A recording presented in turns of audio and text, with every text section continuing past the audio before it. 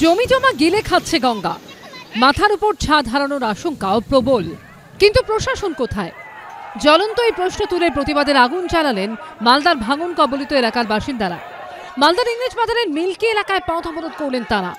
মানিকচকের গোপালপুর ও ভূতনির চরে ভাঙনের সমস্যা দীর্ঘদিনের। স্থানীয় বাসিন্দাদের দাবি, গত পনেরো দিনে তা মারাত্মক আকার নিয়েছে। গোপালপুর অঞ্চলে দীর্ঘ তিন দশক ধরে, অর্থাৎ উনিশশো পঁচানব্বই সালের গোড়া থেকে বা তার আগে থেকে ব্যাপক হারে গঙ্গা ভাঙন চলছে।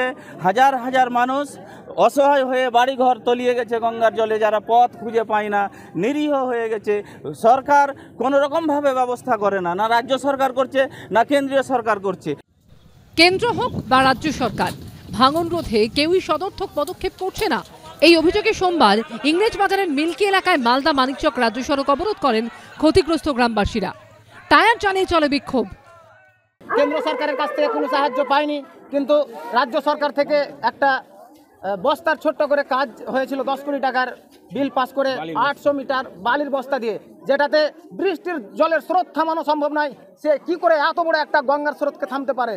এইগুলো দশ কোটি টাকার কাজের জায়গায় হতে পারে এক কোটি টাকাও কাজ হয়নি।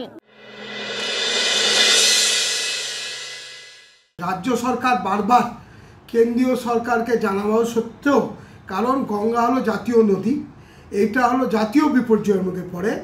কেন্দ্রীয় সরকার কোনোরকমভাবে রাজ্য সরকার সাহায্য করছে না বা গঙ্গা ভাঙনের ক্ষেত্রে যা যা প্রয়োজনীয় ব্যবস্থা নেওয়া করছে না।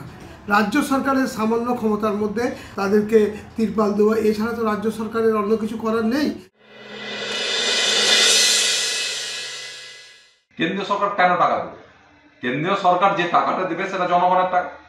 সেই টাকাটা যদি গঙ্গার তলেই চলে যায়, দুর্নীতি করে, তাহলে কেন্দ্রীয় সরকার কি বোকা যে বারে বারে টাকা দিবে আর তৃণমূলের নেতা নেত্রীরা সেই টাকাটা লুটপাট করবে? এটা তো চলতে পারে না। রাজনীতির এই টানা পড়েনে ভাঙন রোধে আদৌ কোনো কাজের কাজ হবে কিনা তা নিয়ে সন্দিহান স্থানীয় বাসিন্দারা। তবে মালদার জেলা শাসক আশ্বাস দিয়ে বলেছেন প্রশাসন প্রস্তুত আছে। ইতিমধ্যে ত্রাণ সামগ্রী বিলি করা হয়েছে। খোলা হয়েছে ফ্লাড সেন্টার।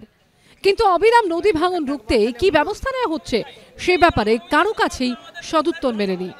করুণাময় সিংহর রিপোর্ট, এবিপি আনন্দ, মালদা।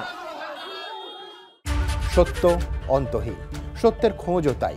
সত্য সন্ধানে তাই আমরা অক্লান্ত, অকুতভয়। এবিপি আনন্দ, নতুন ভাবনার প্রতীক, যা মনে মুক্ত তথ্যে যুক্ত এবং যাবতীয় সীমানার বাঁধন থেকে মুক্ত। সীমা না, শব্দটির মধ্যে লুকিয়ে আছে মানা শব্দটি, যেন চোখ রাঙানি, এক অদৃশ্য বেড়াজাল যা আটকে রাখে আমাদের এক ছোট্ট গণ্ডির মধ্যে। একমাত্র সঠিক খবরই গড়ে তুলবে এক মুক্ত সমাজ। সেই জগৎ গড়ার লক্ষ্যে কোনো সীমানার ঠুকুটি আমরা মানব না। এবিপি আনন্দ, এগিয়ে থাকে, এগিয়ে রাখে।